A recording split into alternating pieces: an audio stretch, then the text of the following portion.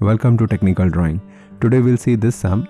We have front view top view. We need to draw cutting plane line like this at 45 degree. So we have to draw front view, sectional top view and auxiliary top view. So first I will draw the object after the cutting plane line which will be there. So that portion will be dark. So I will draw front view dark, the remaining portion. In top view I will do naming. Same way in front view also. Now if you see A is cut, so PA dash, E is cut, PE dash.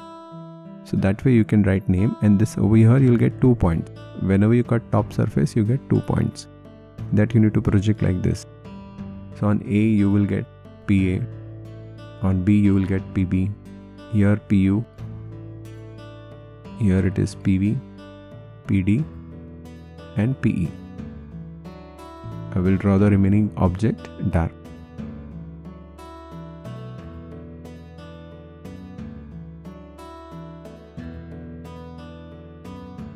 This will be dark. Now, the object is this way and it is cut at 45 degree. So this is just for explanation. This is how it looks. So this portion will be hatched.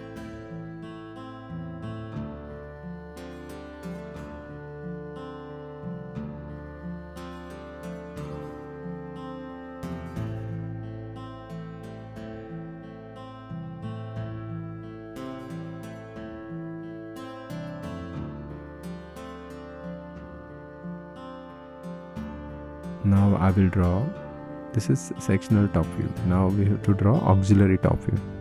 So for that first we will draw auxiliary which is inclined at 45 degree auxiliary plane which is inclined at 45 degree and then we will draw 45 degree from here from the object. This is C point this is Y. I'll extend this. This is x1 y1 this auxiliary plane this you can draw anywhere this is inclined at 45 degree because uh, so then this will be also inclined at 45 degree. This has to be 90 let's say this is 60 degree then this will be at 30 if this is 30 then this will be at 60 remember this. Right now we are doing 45 45 so you draw line from c dash. Same way you draw line from b dash d dash and a dash e dash. So we are taking the top point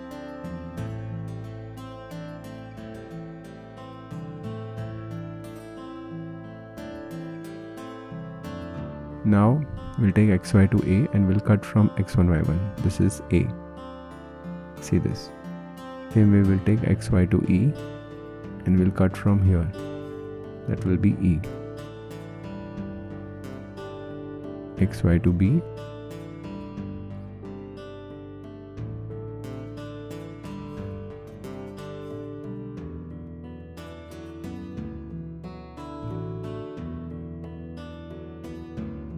then xy to d.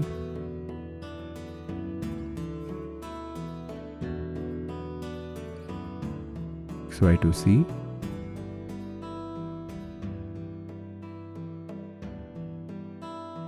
So we got the top part. We'll join this with a b c d e. All these lines when we join you'll get pentagon. So this is the top surface of the prism. Same way we need to project bottom one so i'm just writing naming. So then you can project from a dash e dash the bottom one. B dash d dash and c dash.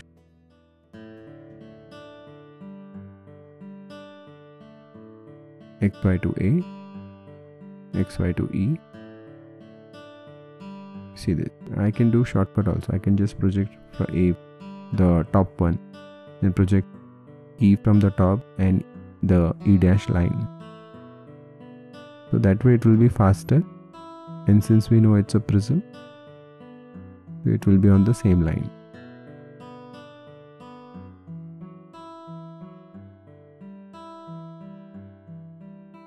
So we got the bottom pentagon. Now which part will be dark? First of all we'll try and draw boundary line will be dark. See in this case there are two pentagon. Which one will be dark so lower one lower one will won't be dark. Why? Because you can't see the behind part. So what we'll do? We'll do this inside c wala part dotted. This will be dark. This will be dark because a and e is nearer to observer.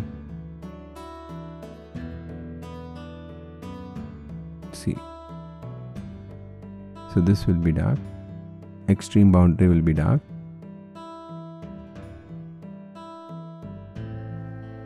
this way you will get auxiliary top view. Then PUPV you extend PUPV from here. This is PU this is PV then you extend B and D. Wait it's not proper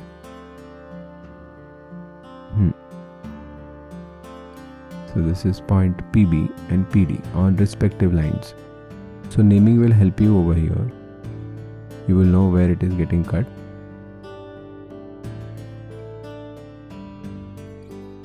Then PAPE PA dash PE dash you project wherever it will cut on A that is PA and wherever it will cut on E that is PE then you join all this line. So then you'll get the auxiliary part. This is auxiliary top view. And then I will draw the remaining part dark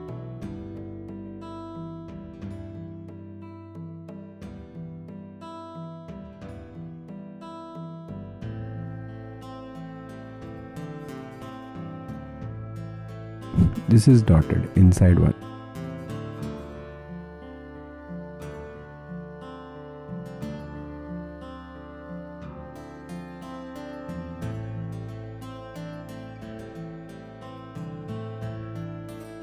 then we can do hatching. Now see when I do hatching at 45 degree it looks toda weird. So then you can do at some different angle also. There is no such rule. Since it, the object is inclined at 45 and if I'll do hatching also at 45 it looks slight off. So to avoid that we will use different angle. So I hope everyone has understood this. Thank you